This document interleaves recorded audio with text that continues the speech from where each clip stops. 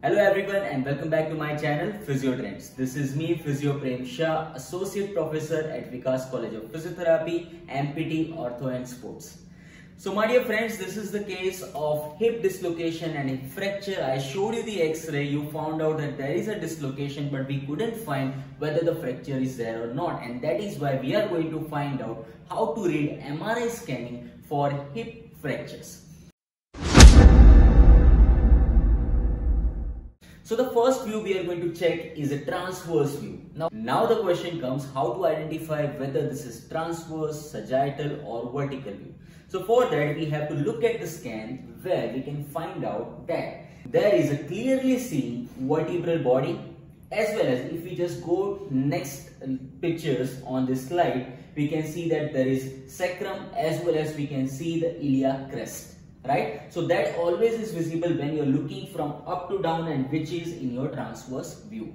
Now this view we are as we can see in the first row we can see most of the bony particle which is like a vertebral body. We can see some of the spinous process transverse process. After that we can see the iliac crest and we are not able to see the hip joint yet. But as we can move downward we now can see that there is a visibility of acetabular cavity. Slowly we can see the head of the femur coming up. And now as we go forward in the slides we can see that head of the femur is fractured. We can see the fragment very clearly over here. And also we can note that head of the femur is also moving posteriorly which again confirms that yes there is a posterior dislocation of the femur along with there is a fracture of the head of the femur so my dear friends, this is how we can identify this hip fracture in the transverse view.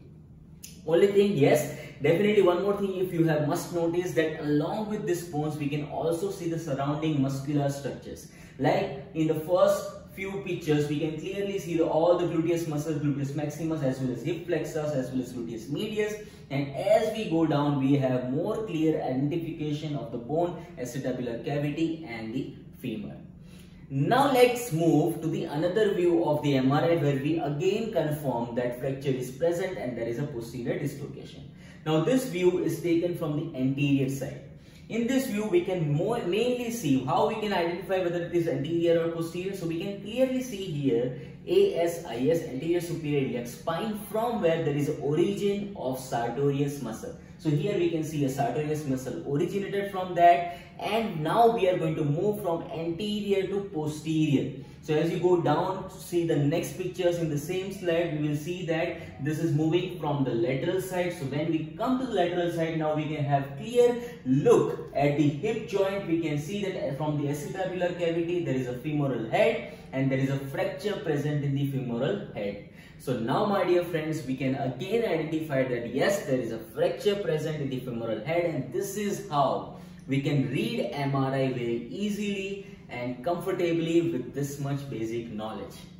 Now, I have one small question for all of you. Can you tell me which view this is, whether it is T1 weighted, T2 weighted or STIR images? If you can identify this correctly, do let me know in the comment section that which view this is. And if you don't know how to identify this, don't worry, I have just made a previous video about how to know whether this is T1 weighted, T2 weighted or STIR images. You can watch that video from this link.